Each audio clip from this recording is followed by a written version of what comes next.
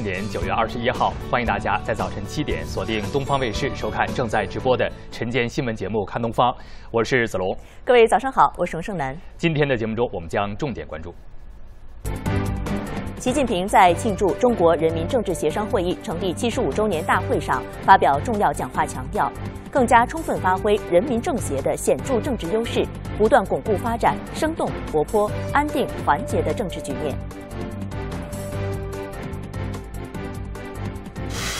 据上海创未来第四届海聚英才全球创新创业峰会在上海开幕，陈吉宁出席开幕式。陈吉宁就加快恢复全市正常生产生活秩序做检查调度部署，要求干部驻守现场，队伍拉到一线，加快排险除患不短板。普拉桑螺旋雨带袭击申城，全市普降暴雨到大暴雨，局地降雨量破纪录，青浦局地出现龙卷风。世博文化公园南区开园，雨势减弱之后开放游览。游客登顶双子山，打卡温室花园，国际马术中心首次开放参观。中日双方就福岛第一核电站核污染水排海问题达成共识，中方反对日方擅自排海的立场不变。中共中央全国政协二十号上午在全国政协礼堂隆重举行庆祝中国人民政治协商会议成立七十五周年大会。中共中央总书记、国家主席、中央军委主席习近平出席大会并发表重要讲话。习近平强调，中共十八大以来，我们适应中国特色社会主义新时代的形势任务，在实践创新基础上推进人民政协理论创新，不断深化规律性认识，主要是坚持中国共产党对人民政协的全面领导，坚持人民政协性质定位。坚持发挥人民政协作为专门协商机构作用，坚持和完善我国社会主义新型政党制度，坚持大团结大联合，坚持把加强思想政治引领、广泛凝聚共识作为中心环节，坚持聚焦党和国家中心任务，履职尽责，坚持人民政协为人民，坚持强化委员责任担当。坚持以改革创新精神推进履职能力建设，这十条构成了我们党关于加强和改进人民政协工作的重要思想，是七十五年来，特别是新时代以来人民政协事业发展经验的集中体现，是新时代新征程做好人民政协工作的根本遵循，必须完整、准确、全面贯彻落实，并在实践中不断丰富和发展。习近平指出，新时代新征程要始终坚持正确政治方向，统筹完善协商民主体系，着力健全协商民主机制，不断推动协商民主广泛多层制度化发展。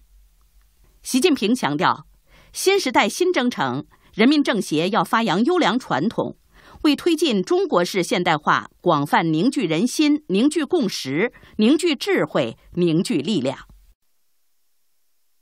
习近平指出，坚持和发展中国特色社会主义是巩固共同思想政治基础的主轴。新时代中国特色社会主义思想是统揽政协工作的总纲。习近平强调，人民政协要发挥人才荟萃、智力密集的优势，发挥协商式监督优势，助推党和国家重大决策部署落地见效。习近平指出。人民政协要完善发挥统一战线、凝聚人心、汇聚力量政治作用的工作机制，着力画好强国建设、民族复兴的最大同心圆。习近平强调，要健全人民政协工作制度机制，多做知民情、解民忧、暖民心的工作。习近平指出。建设一支懂政协、会协商、善议政、守纪律、讲规矩、重品行的政协委员队伍，是人民政协高质量履职的重要保障。习近平强调，中共各级党委要加强对政协工作的领导，支持人民政协履行职能。中共上海市委常委会昨天下午举行会议。传达学习习近平总书记在全面推动黄河流域生态保护和高质量发展座谈会上的重要讲话，在全国教育大会上的重要讲话精神，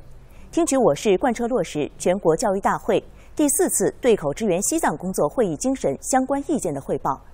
研究部署全市防汛防台工作。审议通过关于优化投资促进机制、加强招商和服务一体化推进的实施方案。市委书记陈吉宁主持会议并讲话。以“聚上海创未来”为主题的第四届海聚英才全球创新创业峰会昨天上午在沪开幕。上海市委书记陈吉宁出席开幕式，并启动第五届海聚英才全球创新创业大赛。正式启动市委副书记、市长龚正为第四届海聚英才全球创新创业大赛获奖选手颁发金奖。开幕式上，人社部与上海市共建高水平人才高地若干举措正式发布，双方将在国际人才服务保障、外国专家引才引智、国外优秀青年与留学回国人才来沪发展等十个方面开展全方位合作。现场还发布了关于进一步提升外国人才便利化服务的若干措施，关于金融支持人才创新创业的若干措施。长三角人才服务联盟在现场揭牌成立，推动三省一市人才集团共同打造高效的人才交流、培育、服务和资源共享平台。开幕式上揭晓了第四届海军英才大赛获奖名单，并举行颁奖活动。这届大赛共吸引全球参赛项目约1.2万个，产生金巨奖六个、银巨奖十八个、铜巨奖三十六个。西智科技创始人沈义晨、瑞士工程院院长贝努瓦杜比在开幕式上做了主旨演讲，分享各自思考和建议。开幕式前，陈吉宁、龚正等同与会嘉宾一道参观了海军英才全球创新创业大赛成果展。市委副书记朱忠明、教育部副部长陈杰、人社部副部长吴秀章、工信部党组成员谢远生。上海市领导赵家明、张维、李正、刘多，复旦大学校长金立，上海交大校长丁奎岭，同济大学校长郑庆华，国家有关部委负责同志，香港特别行政区人才服务办，北京、江苏、浙江、安徽、山东等地人才部门负责同志，上海市有关部门、各区及有关单位负责同志，海内外高校、企业和社会组织代表。十七个国家和地区的创业企业、投资机构、科创平台代表等出席。记者施政报道。市委书记陈吉宁昨天分别会见了来沪参加第三十六次上海市市长国际企业家咨询会议的英国宝诚集团董事长范德纳、美国史代集团董事长杰弗里·格林伯格。陈吉宁说：“宝诚集团、时代集团是全球保险领域的标杆企业，欢迎顺应城市数字化、智能化、绿色化转型趋势，围绕医疗健康、绿色低碳、城市更新、财富管理等领域，推出更多满足市民和企业多层次、多元化需求的高质量保险产品和专业服务。期待国际企业家为上海深化改革开放、推进现代化建设出谋划策，更好搭建中外经贸合作桥梁。”范德纳表示，愿深化务实合作，积极参与上海金融开放创新，围绕医疗健康、资产管理、绿色经济等领域创新产品服务。杰弗里·格林伯格说，将聚焦城市重点关注领域，推进务实合作、创新产品服务，助力上海提升保险业发展能级，更好服务中国企业走出去。市领导李正参加会见。记者施正报道。昨天，市委书记陈吉宁先后前往市防汛指挥部、市委总值班室，就加快恢复全市正常生产生活秩序做检查、调度和部署。陈吉宁要求干部驻守现场，队伍拉到一线，加快排险除患补短板，全力防范城市积涝，坚决防止次生灾害。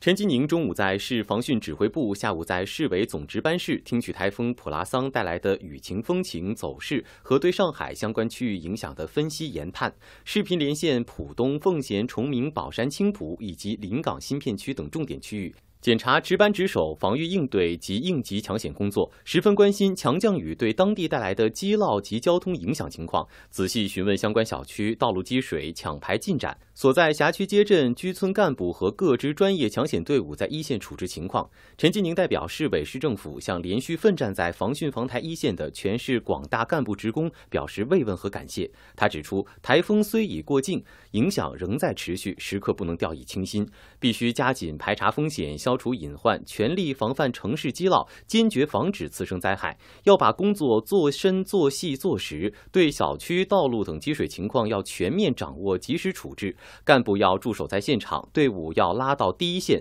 问题不解决绝不收兵，要始终保持清醒，看到问题和不足，更好地从防汛防台应对中总结得失，固化经验做法，完善工作机制，健全指挥体系，加强科技赋能，切实提升全社会总体以防范能力，为全面推进韧性安全城市建设提供坚实支撑。按照市委部署，有关市领导以四部两职方式深入一线检查台风过境后积水处置工作，分别赶到浦东新区惠南镇听朝南路、迎勋路路口、金地城小区等地，实地查看道路、小区内积水情况，现场指挥调度积水抢排、道路通行等工作，对发现的安全隐患提出明确要求，确保台风暴雨过后积水及时处置到位，并慰问了现场工作人员。市领导李正、张小红、陈杰参加。记者。施政报道：今年第十四号台风普拉桑十九号晚上在奉贤沿海二次登陆，登陆之后虽然强度减弱，但是普拉桑东北部强对流云团给上海带来了狂风暴雨，其中浦东大部、奉贤等地出现了大暴雨，奉贤四团镇出现特大暴雨。此次降水的过程中，浦东泥城镇彭镇水务站六小时降水量三百零八点零毫米。奉贤四团杨家宅气象观测站六小时降水量三百二十七点七毫米，是申城自一九七八年有完整小时降水观测资料以来最大的六小时降水量。昨天十五点四十五分，青浦区 G 五零沪渝高速北侧城南村路附近发生了短时龙卷风，由于事发地周边较为空旷，无人员伤亡，房屋倒塌，相关的损失正在进一步的排查当中。此次龙卷是生成在低空风切变较大的不稳定环境中。昨天白天地面风力变小，但五百至一千五百米的空中风力较大，垂直高度上的风向风力变化较大，并且发生了扭转，导致了龙卷的发生。一般此类龙卷都比较弱，时间短暂，不会被发现。不过，上海市气象局近年来新布设的相控阵天气雷达网，对龙卷的细微结构捕捉起到了一定的作用。受台风普拉桑残留云系的影响，昨天下午四点左右，上海青浦地区遭遇到了强对流天气，出现了雷暴大风和强降雨。在青浦区白鹤镇，一条十千伏的输电线被落雷击中断裂，所幸没有造成人员伤亡。记者抵达现场时，抢修工作已全面展开。由于被雷击断裂的电线位于大片农田中央，大型设备却无法到达，抢修人员只能用人力在泥泞的田地中搬运物资和工具。当被问及电线杆被雷击中的情景，一些亲眼目睹的村民都感到心有余悸。雷电下去一下子成了一个大火球，就就下去了，就断掉了，冒烟了，跟着火了一样的。据现场抢修人员介绍，线路中断后，电网系统首先报警。他们第一时间赶到现场进行排查，并迅速找到了断点。我们是根据配网云主站系统故障定位功能，定位出大致的故障区段，然后根据呃结合无人机精细化巡视，第一时间找到呃雷击断线的位置，先把故障区段隔离出来，然后恢复故障区段以外的用户供电。然后迅速组织抢救施工队伍，对断裂的导线进行调换。经过两个小时的紧张作业，抢修人员成功更换了被雷击断裂的电线，并完成安全检查和调试工作，最终顺利恢复送电。东方卫视特约记者报道。奉贤气象台昨天发布暴雨红色预警，狂风暴雨导致奉贤多地出现了明显的积水，再加上浦南运河水位之前已经处在了临界值，因此四团镇等地出现内涝，多街镇全力应对，水闸全开，降低水位。奉贤四团是全市降雨量最为集中的区域之一，其中又以杨家宅村受影响最大，降雨量刷新了一九七八年以来本地六小时降雨记录。即便在雨势减小后，由于东海和附近浦东运河都处于高潮位，积水的居民小区水位下降缓慢。加紧抽水，帮助排水，通宵值守，不断巡查，各项工作迅速展开。我们的这些民警呢，就是时刻时时刻刻保持一个战斗的一个状态。呃，一旦有警或者说接到老百姓群众的一个求助，马上就是，呃，这出发，带着呃辅警力量进行一个现场的一个处置。雨停后，村干部和民警逐户回访淹水民居。人没没事吧？人没事就行，好啊？那么具体有什么物损啊什么的呢？后续我们之后呢，我们也会回来。我们班子基本上已经四点到五点全部在下面了，帮农户就是排涝。多方努力下，下午杨家宅村积水问题已基本缓解，村级道路也已经看不到明显积水。有二十几户村民因为临近河道，而且那个房屋地势也比较低，所以产生了那个场地有二三十公分的积水。截止今天早上十点左右，嗯，小屋里面的积水基本上都已经处理完毕。为保障市民安全，浦东各防汛部门奔赴一线抢险排涝，水务及消防共派出了两百辆自排水车抢排积水，公安、交通、绿化市容、电力等部门也通力合作。浦东惠南镇暴雨如注，强降雨导致多个路段开始出现积水，路边停放车辆的底盘已经被没过。五点二十六分，浦东新区防汛指挥部启动中南部防汛防台一级响应。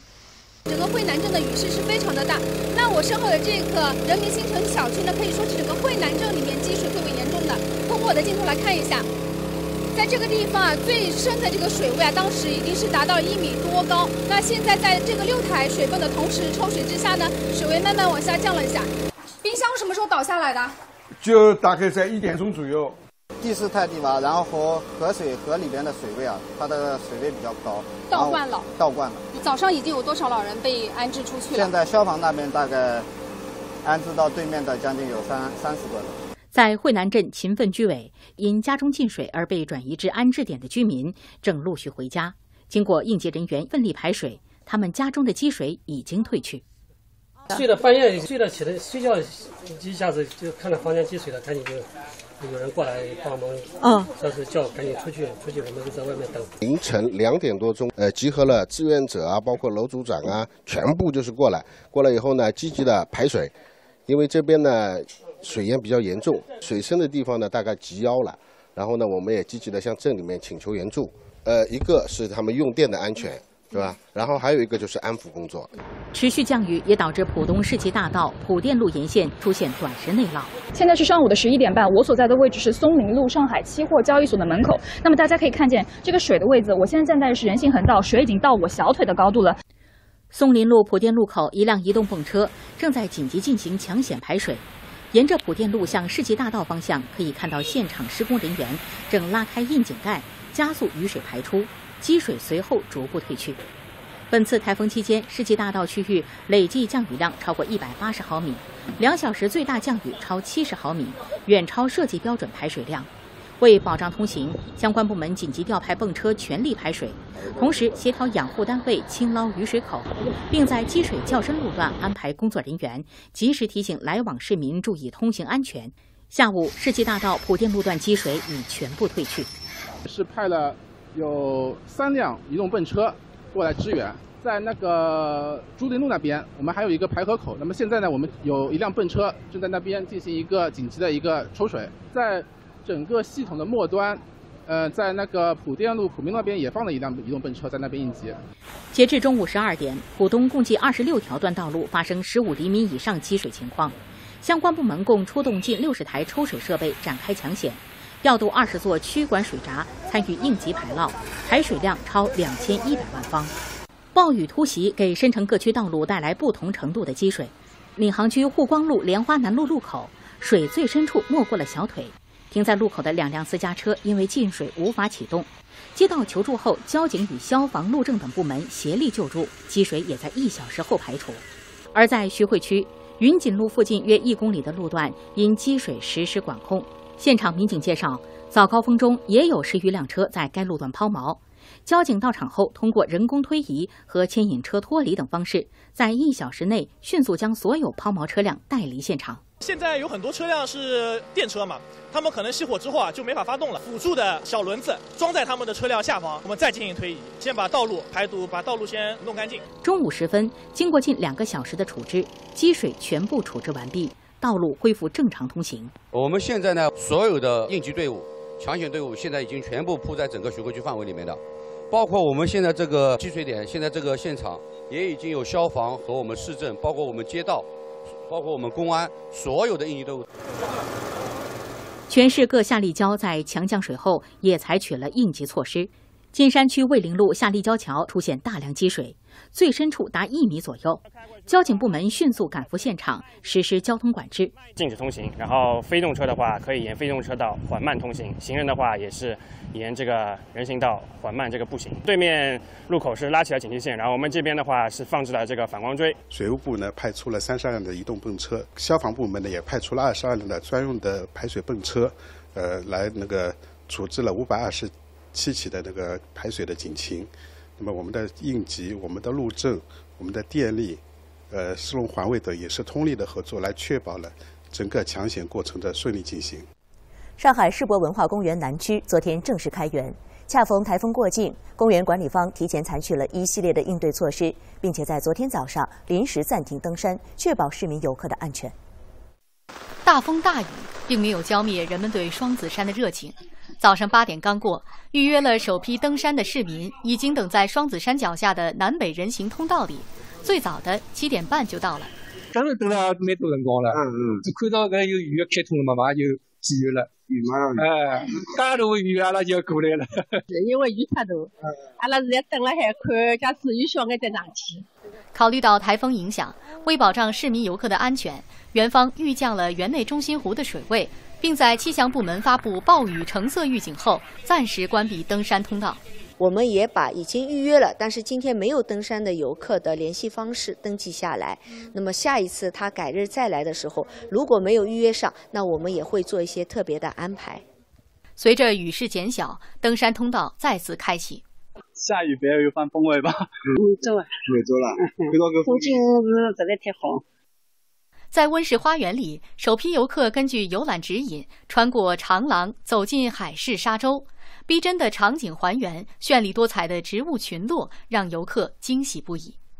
作为亚洲最大的温室，上海温室花园占地二点二万平方米，共有三大主题场馆，汇集了全球各类稀有罕见的植物。游客在其中探索洞穴，穿梭雨林，置身峡谷，领略三种截然不同的自然风光。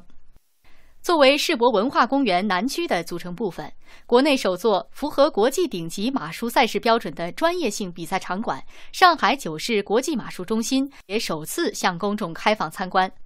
马术中心的场馆总建筑面积八点二万平方米，主体建筑高度十五米。作为世博文化公园的有机组成部分，其设计源自公园整体起伏的远景特征。场馆主体设计取意马术谷自然设计理念。整体形态朝向世博文化公园、大歌剧院、徐汇滨江而打开，形成南高北低的空间效果。国庆期间，这里将举行首届上海国际马文化周。东方卫视记者上海报道。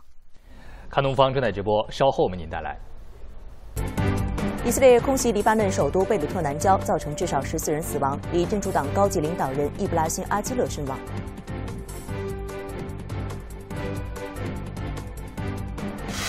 欧盟将向乌克兰提供三百五十亿欧元贷款。俄罗斯批评欧盟已失去独立性。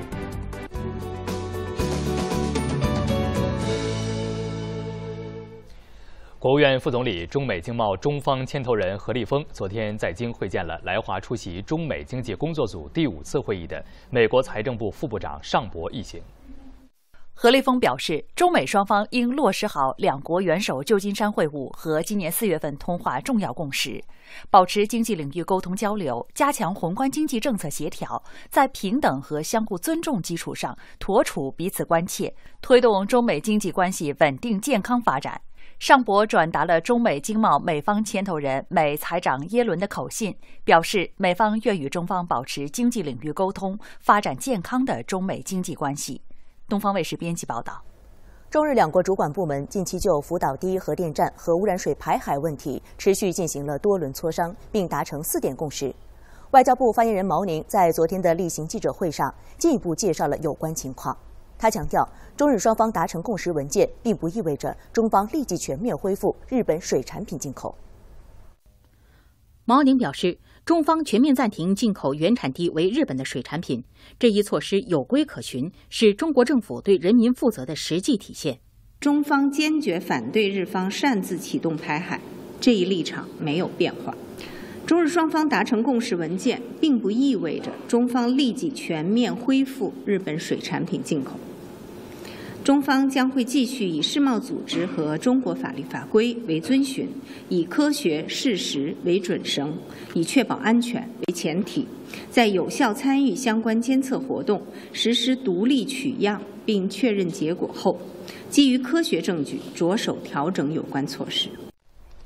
黎巴嫩公共卫生部昨天表示，以色列当天对离首都贝鲁特南郊的袭击已经造成至少十四人死亡、五十九人受伤，其中八人伤势严重。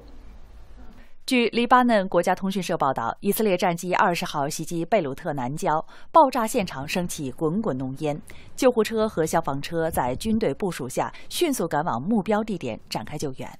黎巴嫩总理纳吉布·米卡提当天在内阁会议上表示，以色列袭击的目标是一个人口稠密的住宅区。以色列不重视任何人道主义法律或道义考量。他呼吁国际社会向以色列施加压力。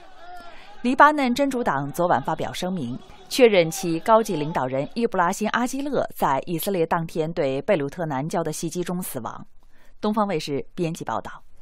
当地时间十九号下午到二十号凌晨，以色列军队在约旦河西岸城市杰宁南部城镇卡巴提亚开展了近十个小时的军事行动，目前已经导致七人死亡，十一人受伤。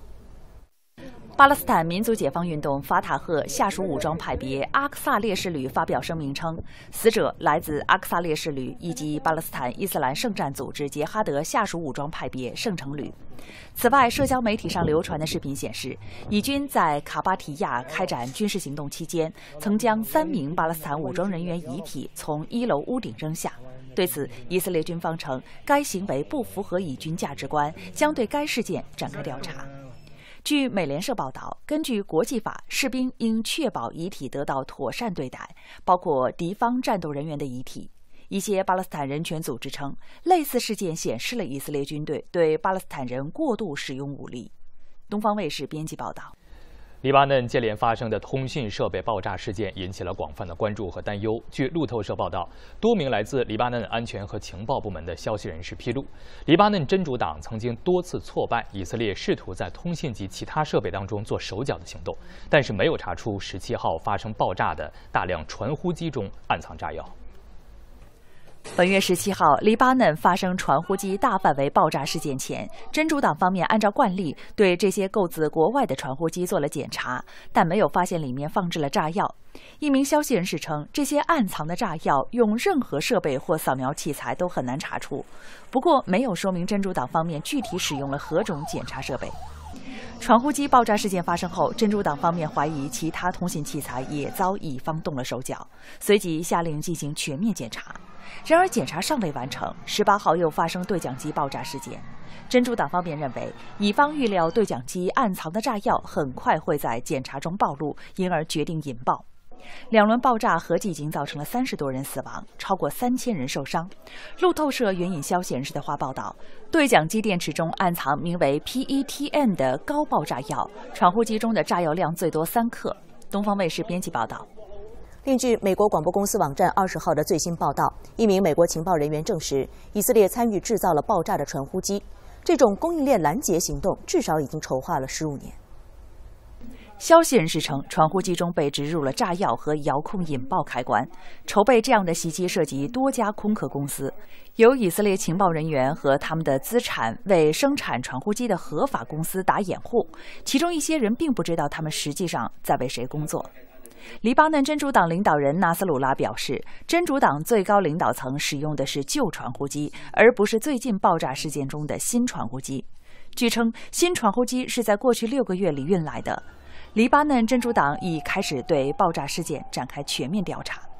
另外，据《华尔街日报》报道，近期发生爆炸事件后，美国国防部对以色列和黎巴嫩真主党可能在黎巴嫩南部爆发地面战争的担忧加剧。不过，美国官员强调，尚未看到任何以色列即将发动进攻的迹象。东方卫视编辑报道。中国常驻联合国代表傅聪昨天在安理会紧急审议离异局势时表示，中方对离异局势可能进一步升级深表担忧，呼吁所有各方保持最大限度的克制。正在乌克兰访问的欧盟委员会主席冯德莱恩昨天表示，欧盟将向乌克兰提供三百五十亿欧元的贷款。对此，俄外交部发言人扎哈罗娃表示，欧盟将被冻结俄罗斯资产所获收益用于向乌克兰提供武器，意味着欧盟已经完全失去了独立性。冯德莱恩二十号抵达基辅，与乌克兰总统泽连斯基举行会晤，并就能源、国防、乌克兰加入欧盟等问题进行讨论。在当天的记者会上，冯德莱恩宣布，乌克兰需要欧盟持续支持。作为七国集团此前达成的向乌克兰提供五百亿美元贷款计划的一部分，欧盟将向乌提供三百五十亿欧元贷款。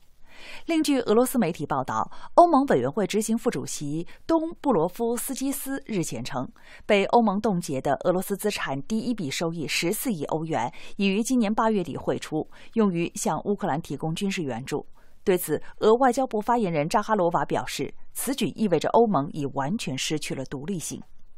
今年六月，七国集团领导人就以俄罗斯被冻结资产所产生收益作为抵押，向乌克兰提供五百亿美元贷款达成共识，承诺将在今年年底前向乌方提供贷款。东方卫视编辑报道。韩国检方昨天寻求法院判处最大在野党共同民主党党首李在明两年监禁。理由是他在上届总统竞选期间发布了虚假信息，违反了选举法。如果法院宣判其罪名成立，并且采纳了这一量刑，李在明将无法参加下届总统选举。韩国检方当天指控李在明为当选总统多次向公众撒谎，寻求法院判处他两年监禁。韩国媒体报道说，李在明被视为角逐2027年韩国总统选举的热门人选。如果罪名成立，他将自动失去国会议员席位，且五年之内不得参选公职。李在明一直坚决否认所受指控，指责尹锡悦政府试图清除政治对手。二十号，李在明再次指责检方捏造罪名，表示相信法院将作出公正裁决。包括本案在内，李在明因涉嫌违反选举法和贪腐等罪名，共牵涉七起案件。预计法院下月宣判。李在明于二零二二年三月参加韩国总统选举，以微弱差距败给国民力量党候选人尹锡悦。同年九月，检方指控李在明在竞选期间发布虚假信息，谎称不认识牵涉一起地产腐败案的关键人物，因而违反公职选举法。他还被指就另一个房地产开发项目发布不实言论。东方卫视编辑报道。日本总务省昨天公布的八月份消费价格指数显示，米类价格同比上涨百分之二十八点三，创近四十九年来的最大涨幅。其中，日本优质米品种月光米八月份涨价百分之二十五点六，除了月光米之外的精米上涨百分之二十九点九。日本共同社报道，去年夏季日本酷暑天气导致米类作物产量减少。另外，八月正值新米全面上市前的库存较少时期，加上防备地震、台风等灾害的储备需求高涨，推高米价涨幅。整体而言，八月去除生鲜食品外的核心消费价格指数上升百分之二点八，连续三十六个月同比上升，升幅连续四个月扩大。这一数字超过日本中央银行二零二二年四月设立的百分之二这一通货膨胀目标。路透社认为，日本通胀率两年多来高于既定目标，相当程度上是因为日本进口商品价格上涨。日本央行二十号决定维持当前百分之零点二五的政策利率不变。共同社报道，美国联邦储备委员会十八号宣布降息五十个基点后，日本政府正密切关注日元汇率走势和日本经济前景。东方卫视编辑报道。联合国粮农组织昨天表示，全球约有2.82亿人正在面临重度饥饿，这一数字还可能因拉尼娜现象带来的负面影响进一步上升。粮农组织一名官员二十号援引世界气象组织的预测说，本次拉尼娜现象可能紧随2023至2024年的厄尔尼诺现象后出现。厄尔尼诺现象引发了全球范围内的极端天气气候事件，是损害全球粮食安全的主要因素之一。而拉尼娜现象可能让受灾地区更加脆弱。这名官员表示，极端天气气候事件互相叠加，可能逆转多年的发展进程，推高粮食价格，破坏粮食安全和加剧营养不良。为此，粮农组织推出了拉尼娜预先行动和应对计划，旨在帮助一千零五十万风险人群。该计划需筹集三点一八亿美元资金，以应对拉尼娜现象引发的极端天气气候事件。东方卫视编辑报道。这里是正在直播的看东方，稍后为您带来。布拉桑螺旋雨带袭击申城，浦东奉贤局地降雨量破纪录，各部门全力以赴排水出现。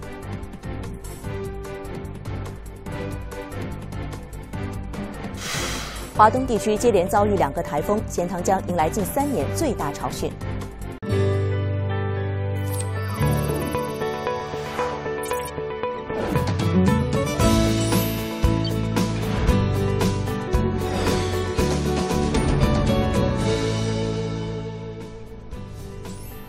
欢迎大家在七点三十六分回到正在为您直播的《看东方》。各位早，我是子龙。各位早上好，我是盛胜男。我们回到新闻当中，今年的第十四号台风普拉桑今天早晨六点钟位于黄海海面上，中心附近最大风力达到九级。普拉桑昨晚从江苏入海之后有所加强，将逐渐靠近韩国西南部沿海。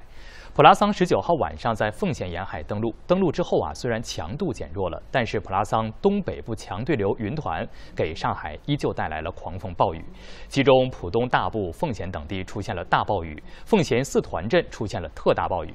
这次降水过程当中，浦东泥城镇彭镇水务站六小时降雨量三百零八点零毫米，奉贤四团杨家宅气象观测站六小时降水量三百二十七点七毫米，是申城自一九八七年有完整小时降水观测资料以来最大的六小时降水量。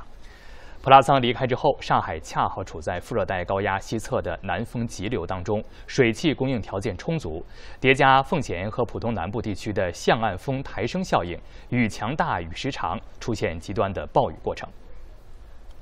受特大暴雨影响，奉贤区凤城、四团、头桥、青村、海湾四镇一街道将暴雨预警从橙色升级为红色。奉贤区防汛指挥部也同步将防汛应急响应等级提高到一级，对相关区域采取了停课、停工、停运、停航、停园、停业等六停措施。大家也可以看到，我现在所在的这个啊道路上呢，由于从昨天半夜到现在呢，一直持续的降雨，所以已经形成了一定的积水啊。我走在这个上面呢，像走在小河里一样啊。大家可以看到，这个积水呢，已经差不多到我的脚踝处左右了。早上八点，记者在青村镇的明德外国语小学看到，学校已经采取停课措施，校园内大部分教室门窗紧闭，仅有一间教室开着灯，由留守的老师陪着三名已经到校的学生上网课。学校也是马上。响应一个恶劣天气的一个紧急预案，通知到各位家长。那么课程教学中中心安排今天的一个学生的是线上学习和自主居家学习的一个学习内容。此外，校方也组织了行政和后勤人员在校园内巡逻检查，发现积水及时处理，确保校园安全。台风普拉桑登陆之后，给上海带来了较为严重的降雨影响，部分观测站雨量打破了历史记录。奉贤区的光明养老院地势较低，又紧邻金汇港。从十九号晚间开始，奉贤地区持续暴雨，致使养老院周边水位上涨迅速，积水深度达到了四十厘米。为了保证养老院内的百余名老人不受到降雨的影响，奉贤区江海消防救援站第一时间赶到现场，开展了抢排积水工作。截止到昨天晚上，养老院内的老人已经安然享用晚餐，恢复正常生活。普拉桑的对流云团过境啊，奉贤呢昨天是有一百三十五个小区、六十三条道路都发生了不同程度的积水。奉贤区镇村居各方联动，结合各路人员，调配各类排水设备，全力参与到排水工作当中来。位于奉贤新城核心区的金海街道，多处路段存在不同程度的积水现象，六支防汛抢险应急队伍全部出动，近百名清障和排涝人员。在城区各个主要交通道路进行路面排查和积水处理。受暴雨影响，金汇镇新华小区积水大，该镇出动民兵将积水抽入集水井。经过两个小时的努力，路面积水问题已经解决。与此同时，南桥镇正环路、南港路至玉秀路出现大面积积水，影响到车辆通行，积水还漫进了该路段内的一所小学和一家幼儿园内。奉贤区消防救援支队队员闻讯后，迅速赶到现场开展排水作业。三十分钟后，积水逐渐减少，交通状况渐趋良好。四团镇、头桥街道、海湾镇、凤城镇、青村镇暴雨红色预警，意味着五个街镇的排水任务更加严峻。在凤城镇红庙地区的积水水位最深达到四十厘米，奉贤区防汛指挥部紧急请求上级部门援助。调配各类抽水设备，全力保障居民日常生活。我们是在上午将近八点五十分抵达现场，抵达现场的时候发现那个周边全都是积水嘛，然后水位最高处感觉最深可以达到三十到四十公分。然后我们这次携带的是龙溪水子母式一个排水泵车，它每小时最高可排将近三千立方的水。根据我们的预测的话，可能还需要再工作三个小时左右的时间。能够完成这个区域的上排任务。而在青村镇，小型排水泵也已经上线，为社区居民进行紧急排水工作。应急人员、小区物业人员、党员志愿者等纷纷加入村居一线，全力支援排水工作。家住浦东新区周浦镇安康北区的多位居民反映说，从昨天早上的五点开始，小区内就出现了积水问题。早上七点左右，积水已经深至小腿肚，部分底楼居民的家中也已经进水。记者赶赴现场后，看到属地积极组织人员正在现场抢排。记者驱车来到周浦镇安康北区，从大门口往内望去，小区内已积水一片，最深处已超过五十公分。不过，现场四台大功率抽水泵正开足马力往小区外的市政管网中排水。我现在是在周浦镇的安康北区，那么现在这个小区当中的水位情况，我们看到水已经淹过了我的这个小腿肚，我现在这个雨鞋里面已经全部都已经进水了。那么今天早上发生了这个情况之后呢，我们的居委、还有我们的水地镇政府、还有我们的物业都积极的在排查。这个小区呢，现在我们是用了两个强力的汽油泵在进行嗯抽水，那么。现在是看这个水位呢，是在慢慢的下去。如果不行的话呢，三百八十伏的那个水泵马上到这里现场。现在已经水位，两台机器过来已经明显水位下降。由于水势较大，积水仍从空隙处 灌入底楼居民家中。居委干部逐一上门，对居民家中情况进行排摸，并同步协助物业加紧排水。建的比较早，它是呢砖和楼板这种房子，所以沙袋都你把门口堵住了，墙壁那个墙角那边还是不是？马上要进水了，那么好看点，好看点。哎，马上要要那个了。哎呀，那门关上啊！把门关好了之后就不要出来，尽量今天不要出来。啊。像这个小区的话，一百八十六户，我们一楼的有三十六户，我们查看了一遍，基本上每家每户啊，那么接下去的买菜啊，生活上，包括等雨停了之后，水下去之后，看一下你需不需要我们帮忙。记者从属地周浦镇镇政府了解到，安康北区的排水抵御标准为一年一遇，此次暴雨已超过了原始设计的排水能力。针对辖区内低洼积水地带，目前属地正加大排水力量，尽快争取把积水抢排完成。我们整个镇呢，呃，目前呢有十八支抢险队伍，近一百人的抢险人员，三十台多台泵，那么在现场进行一个抢险。那么相关的村居呢，有四百多个人在现场进行一个居民的一个安抚跟那个呃解释的一个相关的工作。那么预计呢，呃，整个的一个抽水工作呢，在今天下午前呢，能够全部完成。记者离开小区前看到，浦东新区供排水事务中心的支援队伍也赶到小区加入抢排。记者截稿前，小区水位已明显下降。浦东新区唐镇街道排涝警情，吕三村蒋家宅十到十二号楼区域积水严重。唐镇消防救援站指战员赶赴现场，使用手抬泵进行抽水，于天亮前解除道路警情。浦东新区历城路三十三号五楼两位高龄老人家中漏水严重，周渡消防救援站指战员到场先断电，协助修补漏水管道后排涝，消除安全隐患。浦东新区南芦公路八百八十八号一酒店地下车库积水严重，积水深度达到一米。浦东大团消防救援站接到任务后，立即携带手抬泵等设备前往现场进行紧急抽水排涝工作。消防车两个龙头加指战员手动三个龙头同时排水，数小时的奋战后，成功将积水排出，保障了酒店及周边区域的安全。在永定南路一百六十六号四室，一位八旬老人被一米左右深度的积水困在屋中。接警后，大团消防救援站的救援人员迅速抵达现场开展援救，将被困在卧室里的老人背出屋子。你们旁边有地方可以放安置这位老老人吗？我们背他出去。我们只有在去我弟那边，远不远？就在就在。哦，好好，你背这个这个给我。你到你到我就拿钱。我。你抽给他，就这样，这样背，不会盖到他的。OK，腰带给我，腰带给我，你帮我系上。目前老人已安置在安全区域，身体并无大碍。另外呢，在上海浦东翔安路竹苑小区，昨天凌晨，有一位七十九岁的阿婆被困在了地下室的电梯里。当时呢，地下室的积水啊，已经是漫过了成人的肩膀。困在电梯里的老人危在旦夕，消防和物业紧急施救。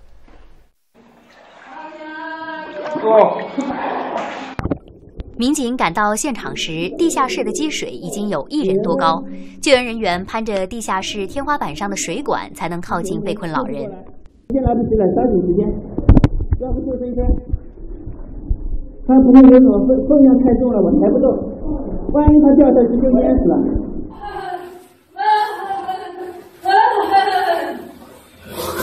好，支下，这支下，支下啊！耳朵，好好好。别动，装住，装住，别急，别急，别急啊，别急。来来来。救援民警一手扶着老人，一手攀着消防设施，摸到了地下室出口。在大家的接力下，终于成功救出老人。原来凌晨四点多，老人听到雨很大，而自己的电动自行车在地下车库充电，怕水漫进来引发事故，就进入地下车库将充电线拔了，然后乘电梯上楼，结果被困在了电梯里。目前被困老人已得到妥善处置，身体状况良好。随着台风对东海海域影响减弱，昨天上午八点，东海正式结束伏季休渔。除八月一日东海部分开渔已解禁的九千六百多艘渔船，浙江舟山、宁波、台州等地四千多艘渔船也正式解禁，允许出海捕捞。为了防范化解商渔船碰撞风险，海事部门在保障重点民生物资优先进港的前提下，组织商渔船错峰出行。受到冷空气的影响，今明两天浙江海域将有一次大风浪过程。海事部门提醒船舶要密切跟踪气象信息，抗风能力差的船舶要及时选择安全水域避风。好，更多长三角区域的消息，我们来看一组简讯。二零二四世界设计之都大会将于下周五开幕，今年的主题是“设计无界，心智生长”。大会期间将举办“心智生长”主场展览，展览总面积约两万平方米，品牌数近五百个，展品数量超三千件。新锐品牌占比约百分之七十，着力以优质设计促时尚消费。今年下半年，苏州已审批通过的千人以上的演唱会等大型活动有二十四场，预计参加人次超五十万。为进一步释放演艺市场活力，提升文旅热度，苏州推出演出直通车等一系列特色服务，让歌迷充分感受苏式服务的温馨和贴心。无锡在全省率先开展城乡居民基本养老保险集体补助试点，截至目前，全市已有五百三十四家村集体经济组织完成备案，惠及参保群众近五万余人，涉及补助资金五百万元，市区集体补助覆盖率达百分之百。江苏盐城将快递进村服务全覆盖列入为民办实事项目。聚焦惠民助农，加快农村寄递物流体系建设，不断提升寄递效能，全力打通服务群众的最后一公里，力争到今年底，全市建制村快递服务站覆盖率和主要快递品牌进村率达百分之百，实现镇镇有中心、村村有网点，便民惠民寄递服务全覆盖。全国内河首个三百六十度船舶驾驶模拟器在浙江省内河船员技能考培基地通过验收，船员们首次利用该模拟器进行考试。相比原本的二百七十度船舶驾驶模拟器，三百六十度船舶驾驶模拟器不仅可以教考分离，也实现了软硬件双提升。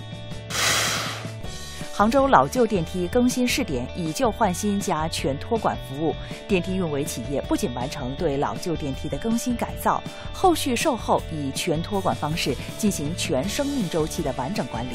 这种模式目前已在省市区范围内推广。浙江开展住宅老旧电梯更新改造百日攻坚行动，自九月中旬开始到年底，全省开工住宅老旧电梯更新改造一万台以上。这里是正在为您直播的看东方，稍后为您带来。国产大飞机 C 九幺九首次加注可持续航空燃料，完成商业飞行。香港国庆烟花汇演将于十月一日晚上在维港夜空上演，首次加入无人机表演。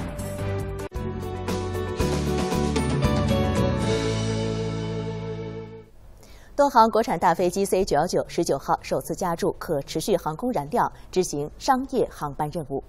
可持续航空燃料由可再生资源或废弃物为原料制成，和传统化石燃料相比，碳排量最高可减百分之百分之八十五，而且与现有的航空器和民航基础设施良好兼容。东航参与可持续航空燃料应用试点的，除了北京大兴到上海虹桥航线，还有北京大兴至西安、成都双流至杭州等共四条商业航线，涉及包括 C 九幺九在内的多种机型。此外，国航、南航以及北京大兴机场、成都双流机场等也参与试点，至今年年底。香港国庆烟花汇演将于十月一号晚上九点在维港夜空上演。烟花汇演将呈现大熊猫等图案，并首次加入无人机表演。今年烟花汇演主题为“盛世烟花耀中华”，汇演分为八幕，先呈现红色五角星及紫色五片花，象征香港向祖国仰望、迈向更辉煌的百年成就；还会呈现笑脸和爱心及绿色竹叶等图案，象征欢迎国宝大熊猫到来。烟花汇演历时二十三分钟，由三艘趸船及六艘浮船，一共将燃放三万一千八百八十八枚烟花。而在烟花汇演上演前，会有五分钟无人机表演，在维港上空拼出大熊猫及七十五字样图案。当然，我哋好希望外地嚟嘅游客都能够住多两晚啦，系嘛？啊，相信诶如果天晴氣朗嘅話，呢個活動會好成功嘅，亦都會留住啲遊客嘅。烟花汇演主办方中华进出口商会表示，会根据国庆节当天的天气情况，适时公布无人机及烟花汇演能否如常进行。东方卫视综合报道。八月十八潮，壮观天下无。昨天是农历八月十八，每年的这一天啊，钱塘江大潮气势如虹，吸引众多游客前往欣赏。那这几天华东地区接连遭遇到了两个台风，那么钱塘江的水位和潮高有着怎样的变化呢？我们来看记者昨天下午从海宁大缺口发回的报道。我现在所在的位置是海宁大缺口，受台风普拉桑的影响，此刻我们可以看到啊，江面是已经形成了特别壮观的一字潮。据最新的这个监测的涌潮高度啊，也是已经超过了一米七，达到了一个将近两米的高度，几乎和一个成年人的身高差不多，甚至是已经超过了成年人的身高。可以看到，此刻江面上是一线潮不断的在沸腾，积蓄着巨大能量的潮水正在向。大缺口挺进，可以看到潮头也是不断的正在涌上海塘。您看，沿线的海棠已经被潮头给没过了，潮水的轰鸣声是直抵人心，而且在现场观潮的市民和游客也在发出一阵阵的惊呼。钱塘观潮，特别是在这样的台风天气看潮水奔腾，我们还是要怀揣着。一份对大自然的敬畏之心。浙江海宁盐官也是一个观潮的绝佳点位。现在呢，我们跟随记者的镜头去盐官看看奔腾的江潮。我是在浙江海宁盐官，画面当中，在水天交汇处已经出现了一字排开的潮头。因为台风普拉桑逐渐远离海宁市，影响趋于结束。海宁当地在今天早上的七点钟结束了防台风应急响应。那么在今天早上的八点钟呢，盐官景区也恢复了开放。目前整个景区的观潮公园是开园的状态。今天呢，也是迎来了两万九千多名的游客。现在画面当中呢，还有两个主角，分别是新老水文塔。在画面下方的刷着蓝色油漆的建筑呢，它是老水文塔。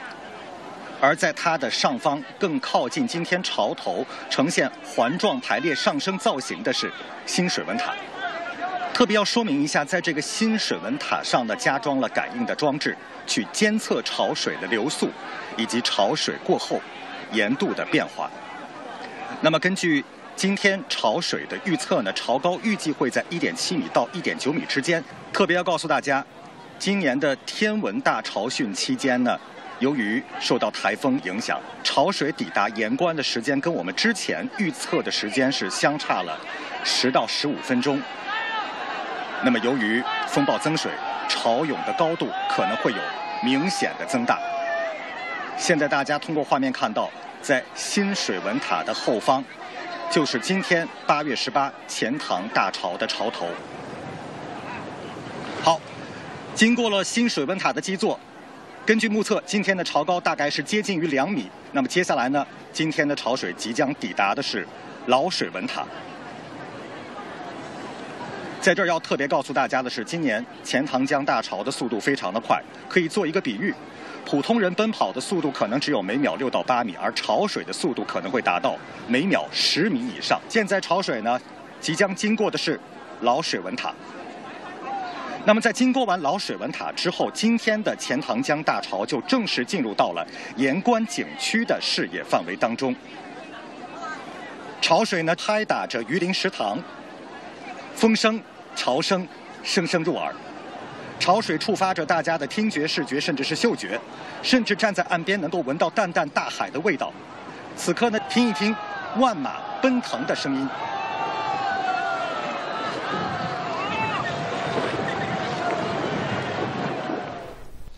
另外，受到台风普拉桑的影响啊，昨天的钱塘潮以比往年更快的速度经过大缺口和老盐仓的点位，抵达了仓前水文站附近。我们接下来再来看看记者昨天下午从钱塘江冲潮船上发回的报道。我们继续跟随冲潮船的视角来看今天的钱塘潮。那么受台风的影响哈，今天抵达各点位的这个潮时比以往都要快上十分钟左右。同时啊，这个涌潮的高度也比平常要高十到二十厘米啊。那么我们现在所处的是仓前水文站附近的这个呃水域，那么时不时会下起大雨，并且伴有偏南风哈。所以出于开运安全考虑，我们今天所乘坐的这个冲潮船会比之前的马力更大，以保证我们始终能够和潮头保持安全的距离。那从这里望去啊，可以看到不远处的江面上。此时已经泛起了一条白色的缎带，那是由潮头连接而成的一线潮，啊，它正咆哮着奔腾逼近。那随着潮水的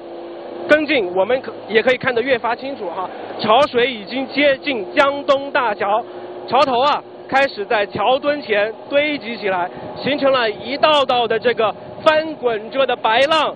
好，此时一线潮已经以排山倒海的力量。冲向了桥墩，很快，原本连续前进的这个潮头被桥墩分成了多股哈，每一股潮水都会绕过桥墩继续前进。这种分割并不是永久的，随着潮水继续前进，被分割的潮头会在桥后的较远的位置重新这个汇合。那这样的分开再聚合，使得我们能够相对清晰的看到一线潮。它形成的一个片段，可以看到这个一段完整的水墙已经出现在了我们的面前。一条完整的这个一线潮，它横亘在江面之上，绵延有两公里左右，可以说是气势磅礴哈。江心瀑布痕，说的就是这样的形态。你看它此时啊，就像是钱塘江上挂着的一面瀑布。萧山美女坝观潮点是杭州市区能够看到潮水姿态最多变的观潮点，在潮势较大的时候，能够欣赏到一线潮、冲天潮和两次回头潮，俗称“美女二回头”。接下来呢，我们再一起看看昨天下午美女坝的多重潮形。我所在的位置呢，就是浙江杭州萧山美女坝旁。今天早上十点多的时候呢，我们是抵达了现场，现场是人潮攒动，涌入了特别多的游客。这个钱塘潮水正向美女坝的方向奔涌而来，自东向西逆流而上的钱塘潮即将撞上这个呈 L 型的美女坝。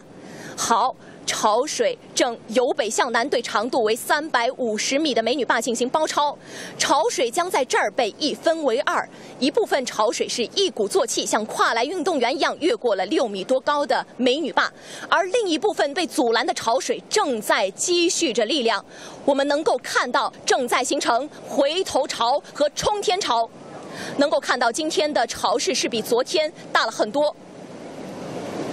而此刻，江面好似山崩地裂，涌起了千座雪峰，前浪和后浪相互交织，相互着搅和，不断在水域当中进行的翻腾。可我们看到的是翻过美女坝的潮水，它会向继续向上游两公里处的四号盘头继续进发，等待它的其实是另外一重考验。四号盘头呢是一个呈现 U 字形的大坝，就像是一只大碗扣在了南岸的海棠。我们可以看到，向四号盘头挺进的潮水速度是相当之快。据专家预算呢，这个速度可以达到每秒六至八米，相当于普通成年人全力骑自行车的一个速度。而我们能够看到，其实潮水在行进过程当中是呈现一个向上倾斜的斜线状态，这其实和我们所处的地形密切相关。专家告诉我啊，这个美女坝和四号盘头所在的位置刚好是一个向南凹进的港湾，靠近南岸海塘的水浅，因此涌潮行进的速度慢；外侧的水呢比较深，因此行进的速度比较快，所以形成了我们刚刚所看到的斜向潮头线。奔涌向四号盘头的钱塘潮水和四号盘头搏击着、撞击着，形成飞溅的浪花，一浪接着一浪。而此时此刻遭遇大坝阻拦之后，形成了美女二回头，她向美女坝的方向继续奔涌回来，完成她的最后义务。受到农历八月天文大潮的影响，十九号中午，厦门海域的最高潮位达到了七百零三厘米，超过七百厘米蓝色警戒潮位。当地沙坡尾、五缘湾木栈道、集美鳌园等地势较低的沿海区都出现了海水漫堤的现象。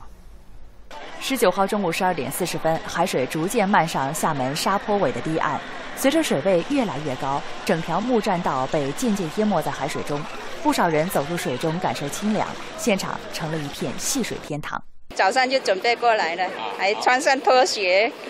等了一个小时了，玩一个水，看看这个沙河尾这一边。嗯，这是我第一次看见那么壮观的潮水，然后也可以在这里玩水。现场厦门市政部门的工作人员也准备了一些防汛沙袋，并在周边值守。除了沙坡尾、五缘湾木栈道、集美鳌园等沿海地势较低的区域，都出现了海水漫堤的现象。记者从当地海洋预报部门了解到，十九号中午一点，厦门最高潮位达到了七百零三厘米，超过了七百厘米蓝色警戒潮位。厦门台报道。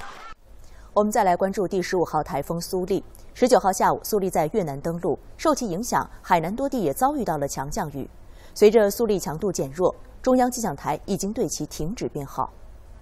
受台风苏力及残余云系影响，海南岛部分区域出现大暴雨，部分树木倒伏，导致居民的车辆被压以及道路受阻。在三亚，一棵树被强风吹倒，砸到停在路面上的一辆小汽车，所幸没有造成人员受伤。救援人员根据现场情况，利用消防车吊臂和牵引绳，成功将树木清理到公路旁。另一路段，一棵约十五米高的树木倒压在路边高压线上，树枝砸到路边的两辆轿车，在移走车辆、断掉区域电网后，救援人员对树木进行切割，将其转移到其他区域，消除了安全隐患。目前又有新的台风已经生成，第十六号台风西马伦已不远了。气象专家表示，九月下旬，西北太平洋还可能生成一个台风，将对我国东南部沿海地区造成影响。东方卫视综合报道：从十九号开始，甘肃临夏等地出现了降雨天气，部分地区的降雨量达到了暴雨级别。在临夏积石山县，降雨引发了山洪，导致道路桥梁受损。九月十九号，在积石山县中嘴岭乡以西太子山沿线，降雨引发洪水，导致该乡马家嘴河区域桥梁、道路、河堤等冲毁或受损。此外，村级文化广场产业基础设施、农作物和农户房屋不同程度受损。洪水过后，积石山县应急、交通、水利、电力等部门与村镇干部一起开展群众转移、清淤疏浚、道路桥梁抢修保障等工作。这里是中嘴岭乡马家嘴村的一段河道。截止到二十凌晨啊，这个河道里面的水位是，呃，大幅的回落，但是呢，流速非常的快。白天的这个山洪是对两边的路基呢造成了一定的损坏，所以呢，呃，乡镇干部也是连夜展开排查，是在周边的一些危险路段拉起警戒线，防止村民进入。我们第一时间通知沿线的群众，该转移的转移，继续做好这个密切检测工作。然后河道里面的险情基本已经排除了，明天开始我们就组织。呃，制定这个维修方案，尽快开展下一步的维修工作。当地已转移群众八十二户，共计四百人，洪水未造成人员伤亡。好，北京时间来到了八点零六分，下面让我们看一下今早值得关注的一些最新消息。教育部发布二零二五年全国硕士研究生招生初试和报名时间安排。网上报名时间为十月十五号至十月二十八号，初试时间为十二月二十一号至二十二号，考试时长为六小时的考试科目在十二月二十三号举行。